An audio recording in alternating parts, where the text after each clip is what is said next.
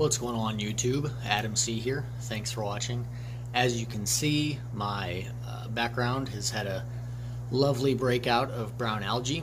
So what we're going to do is add three of the bristlenose plecos that I've bred and grown up here.